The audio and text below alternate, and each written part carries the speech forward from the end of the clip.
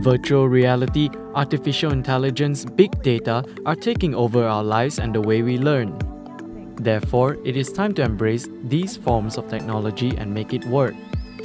To do this, the Higher Education Ministry is tackling the fourth industrial revolution with its theme Higher Education 4.0 Knowledge, Industry, Humanity. Uh, that's why we are having a program, we call it Educator 4.0 program. We're training now 600 lecturers, young lecturers, or those who are willing to change, who are willing to adopt the new uh, IR 4.0 or Edu Education 4.0 uh, technology, where things are being done. It says that university, university is not just for the industry, university is also for knowledge and humanity.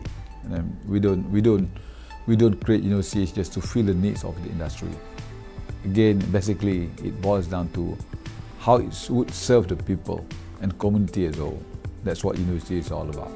Among them are using 4IR technology such as artificial intelligence and virtual reality to transform the teaching and learning experience. This is so trends and events can be incorporated into the curriculum and courses remain up to date. We don't know what's in the future. So we need to make sure that our curriculum are current. The curriculum, he said, will be 30% organic and fluid.